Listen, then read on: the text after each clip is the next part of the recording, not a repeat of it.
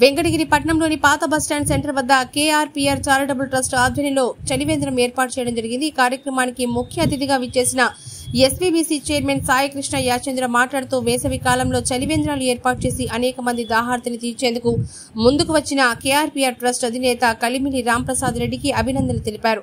ఈ కార్యక్రమం నందు మున్సిపల్ చైర్పర్సన్ నక్కా భానుప్రియ గ్రంథాలయ చైర్మన్ దొంత శారద ఎంపీపీ తనూజారెడ్డి వైకాపా పట్టణ అధ్యక్షుడు ఢిల్లీబాబు వార్డు కౌన్సిలర్లు నాయకులు పాల్గొన్నారు కార్యాలయాన్ని ఏర్పాటు చేయడం జరిగింది కేఆర్పీఆర్ చారిటబుల్ ట్రస్ట్ ద్వారా ఆయనకి ఆయన కుటుంబ సభ్యులకి అందరికీ కూడా ధన్యవాదాలు తెలియజేస్తున్నాను.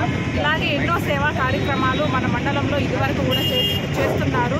సో కాబట్టి అందరూ కూడా తనని గుర్తుపెట్టుకొని ప్రతి ఒక్కరు కూడా మన సహాయ సహకారాలు తనకు అందించాలని కోరుకుంటున్నాను.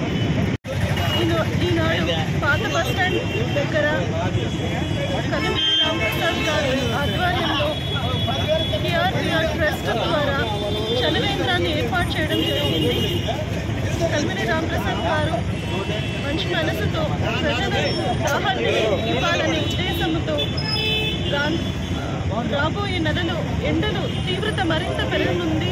ప్రజలకి ఇది ఎంతో ఉపయోగకరంగా ఉంటుంది అనే ఉద్దేశంతో వారి ట్రస్ట్ ద్వారా ఇలా ఏర్పాటు చేయడం ఎంతో సంతోషకరం. అందుకు ఆయనకు నా ధన్యవాదాలు తెలియజేస్తున్నాను. అలాగే మీరు ఆ, నాలుగు చోట్ల కేవలం ఇక్కడే కాదు కాశీపేట వద్ద క్రాస్ రోడ్ వద్ద పాలకేంద్రం వద్ద కూడా ఏర్పాటు చేయడం జరిగింది. అందుకు వారికి మరి ప్రత్యేక ధన్యవాదాలు తెలియజేస్తున్నాను. చలవేంద్రాలను మీరు ఏర్పాటు చేసినందుకు చాలా సంతోషం. అలాగే ఇది ఇలాగా మంచిగా మెయింటైన్ చేయడం కూడా ఒక గొప్ప సవాలే కాబట్టి ప్రజలకు దాహత్యం తీర్చడంతో పాటు శుభ్రతమైన మంచి వాటర్ని ఇవ్వడం చాలా సంతోషంగా భావిస్తున్నాను. ఈ కార్యక్రమంలో పాల్పంచుకున్న అందరికీ కూడా ధన్యవాదాలు కేఆర్పిఆర్ ట్రస్ట్ మీద రామ్ ప్రసాద్ రెడ్డి గారు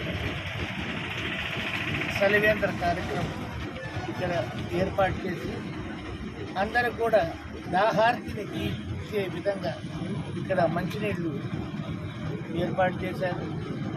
ఇది చాలా మంచి కార్యక్రమం. కత్తెరెండలో సలివేంద్ర ఉండటం చాలా ఉపశమనం కలిగించే విషయం. మండు మండు వేసవిలో మన దాహాన్ని తృష్ణని తీర్చే ఈ కార్యక్రమం చేపట్టిన కేఆర్పిఆర్ గారికి నా అభినందనలు. కృషి చేసిన పెద్దలందరికీ ముఖ్యంగా యోగి శారద గారికి కౌన్సిలర్స్కి పాత్రికేయులకి అందరికీ ధన్యవాదాలు అర్పిస్తూ ఇటువంటి కార్యక్రమాలు మనం చేయాలి. మనిషికి ముఖ్యమైనది కీర్తి కాదు సేవ.